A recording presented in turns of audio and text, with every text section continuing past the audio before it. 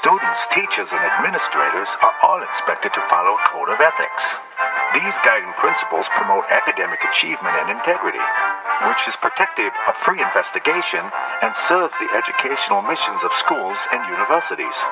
For many years, these standards of professional conduct gave clear direction to promote the ethical behavior of its members. Now, we are 20 years into the digital age, and new technologies are changing the educational landscape at an incredible rate.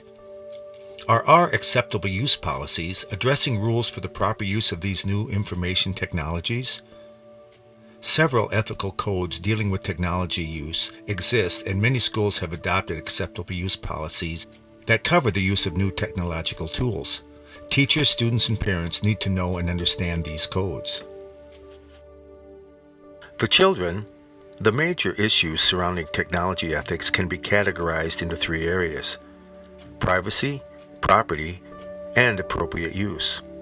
The topics for examination include privacy protection, freedom of information, intellectual property, cybercrimes, harassment, stalking, and bullying, the digital divide, and social aspects of participating in information environments.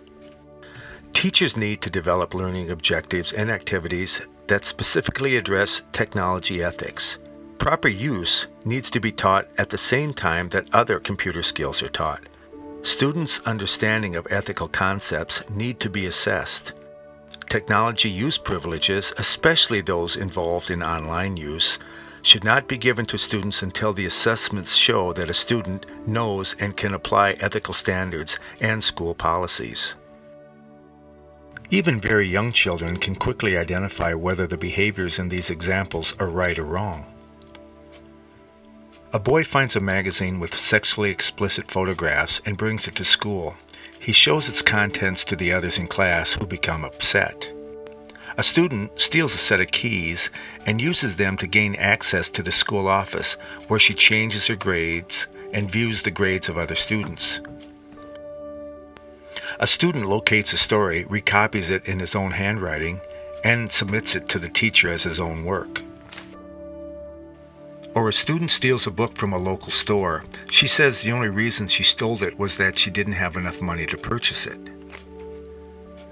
When students start using technology, especially information technologies that consist of computers and computer networks, they start operating in a new world, a virtual world. Suddenly, behaviors may not be as easily judged to be right or wrong. What would your students' responses be to these given situations? A girl downloads a sexually explicit picture from a site on the internet on a computer in the school library. Her classmates can easily view the computer screen.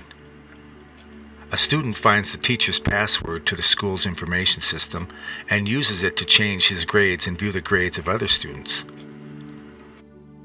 A student uses the copy and paste command to place large parts of an electronic encyclopedia article into an assigned paper she turns the paper in as her own work. Or a student makes a copy of a software program borrowed from another student to use on his computer at home. Our new technological capabilities also may require new ethical considerations. The ability to send unsolicited commercial messages to millions of internet email users known as spamming was not possible before there was email or the internet.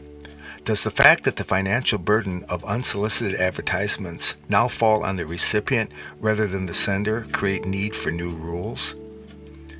Digital photography has made the manipulation of images undetectable, an impossible feat with chemical photography.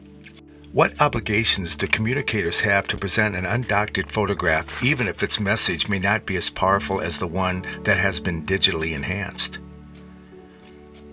Prior to the internet, minors face physical barriers of access to sexually explicit materials.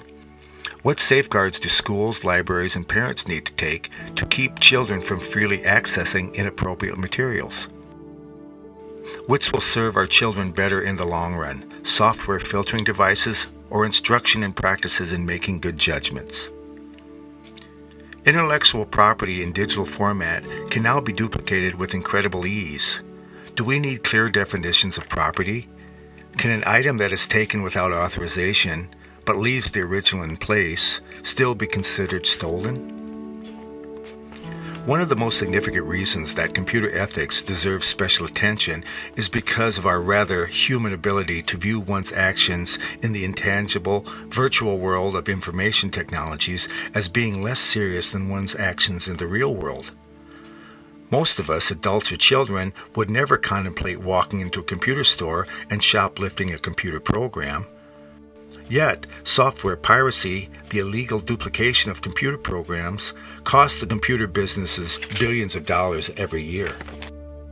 Most of us would never pick a lock, but guessing passwords to gain access to unauthorized information is a common activity.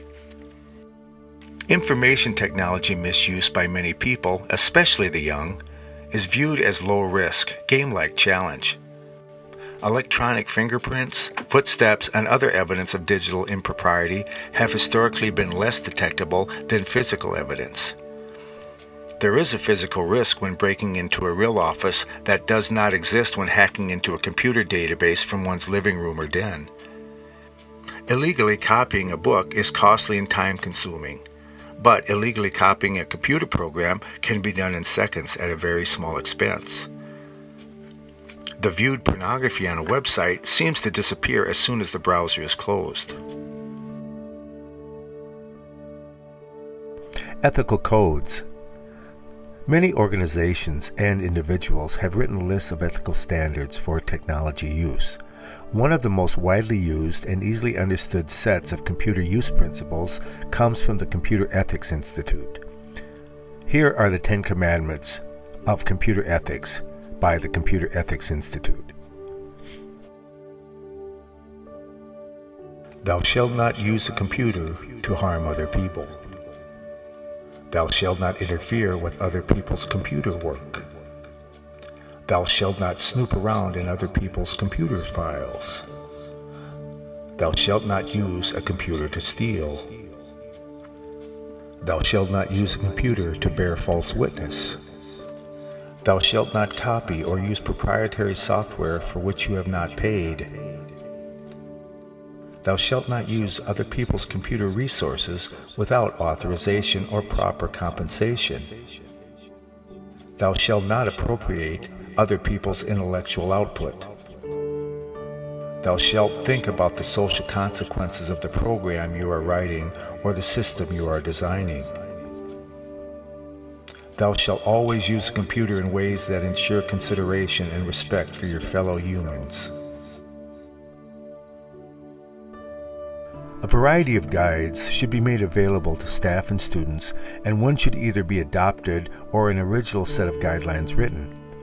While an entire school or district may wish to use a single set of guidelines, each classroom teacher needs to understand, teach, and model the guidelines.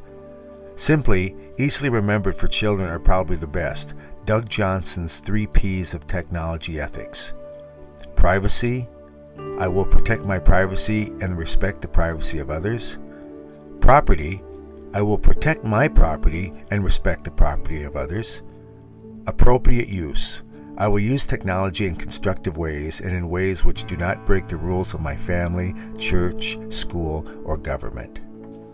Major areas of concern. The scope of information technology ethics is very broad. For the purposes of this short guide, we will be looking only at some common cases where younger children will need to make ethical choices or have the unethical actions of others affect them. I have categorized the issues under the major headings of privacy, property, and appropriate use. These cases and other like them should be used to foster classroom discussion.